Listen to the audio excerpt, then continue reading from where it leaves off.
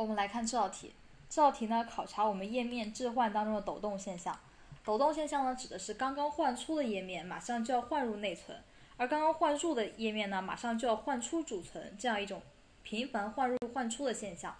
那么这种现象产生的主要原因呢，一个就是一个进程频繁访问的页面数目高于可用的物理页帧的数目，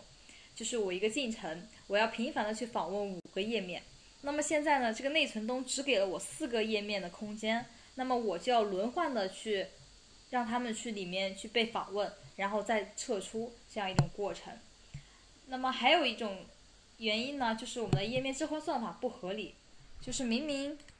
有四个页面可以在里面长时间访问之后再去换入另一个页面，而我呢采用先入先出的这样一种算法或者其他的不合理的算法呢，我一直在轮换。就造成了这样一种，造成这样一种不合理的换入换出。但是总体来说呢，如果我们频繁要访问的页面远远高于物理页帧的数目，那么不管是选择多适合的页面置换算法，都不可能去彻底解决掉这个抖动的现象。也就是说，所有的策略呢都有可能会引起抖动的现象。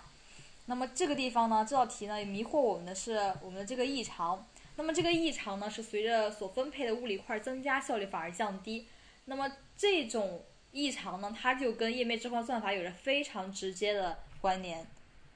那么比如说像我们采用底层队列实现的这样一种先入先出的算法，就很有可能引起这种异常。而我们的 OPT 或者是 LRU 这种采用站式的算法呢，就一般不会引起异常。所以这道题呢，还是考察我们抖动，是所有的策略都可能会引起抖动。答案是 D 选项。